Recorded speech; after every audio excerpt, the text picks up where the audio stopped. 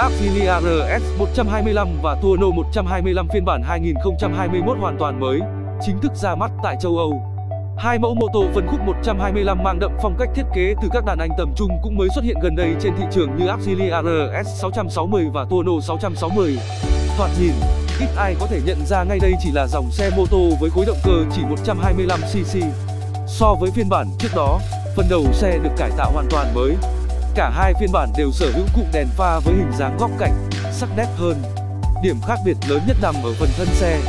Aprilia RS 125 sở hữu vỏ ngoài được bao phủ hoàn toàn, đúng với kiểu dáng Sportbike trong khi Aprilia Tuono 125 để lộ nhiều bộ phận cụm máy theo phong cách naked bike.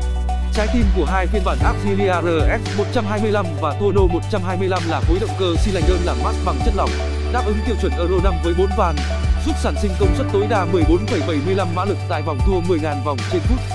Mô men xoắn đạt 11,2 Nm tại vòng tua 8.000 vòng trên phút. Ngoài ra, hệ thống xả mới cho khả năng kiểm soát khí thải tốt nhưng vẫn giữ được sự tối ưu của sức mạnh động cơ, giúp đảm bảo mô men xoắn luôn mạnh mẽ ở vòng tua thấp.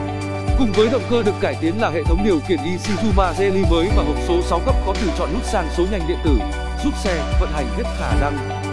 Các trang bị tiêu chuẩn đáng chú ý trên hai mẫu mô tô này là hệ thống ABS chống bó cứng phanh hai kênh, được phát triển từ hợp tác với hãng Bosch.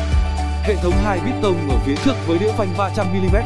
Theo các đánh giá ban đầu từ người tiêu dùng, hệ thống phanh trên hai mẫu mô tô Aprilia RS 125 và Aprilia Tuono 125 cho cảm giác phanh chắc chắn và an toàn nhất phân khúc. Hệ thống treo trên hai mẫu xe được trang bị phục cấp side down ở phía trước và giảm sóc đơn ở phía sau. Bình xăng đều có dung tích 14 lít và cổng sạc USB cùng ngăn đựng đổ dưới yên ngồi.